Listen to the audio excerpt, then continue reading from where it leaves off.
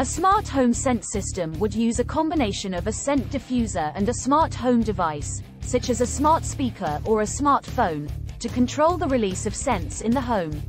The user would be able to control the scent diffuser using their smart device, either through a dedicated app or through voice commands.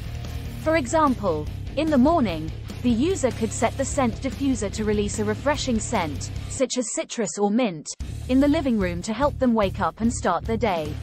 Throughout the day, the user could set the scent diffuser to release different scents in different rooms of the house, depending on the activity taking place in that room.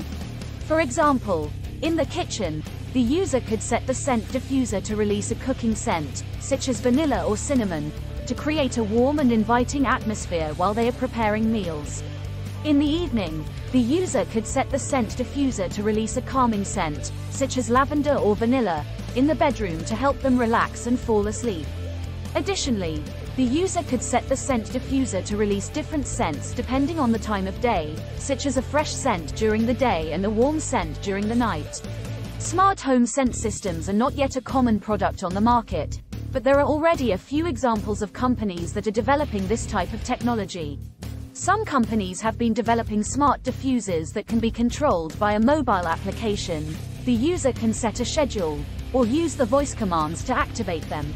Other companies are developing smart diffusers that integrate with other smart home devices, such as Amazon Alexa or Google Home, to make it even easier for users to control the scents in their home.